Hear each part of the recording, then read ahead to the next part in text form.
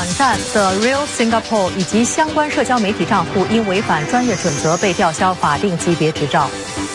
全岛超过一百三十个地点举办全民清洁大行动，鼓励居民自动自发清理区内的环境。到上海参加两岸论坛的国民党主席朱立伦提台湾国际活动空间，大陆正面回应。拳坛世纪之战，美国拳王梅威瑟击败了菲律宾拳王帕奎奥，保住十九年来的不败纪录。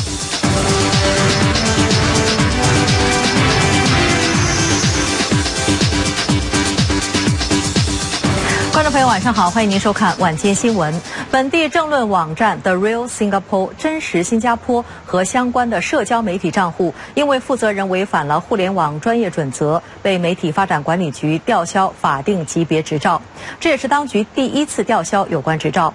网站和相关的社交媒体账户必须要在晚上约七点关闭。来看记者聂国威的报道。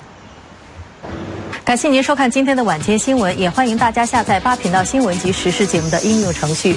八频道下段新闻呢是明天早上九点的晨光第一线，请您记得锁定。我是海杰，我们明天再见，晚安。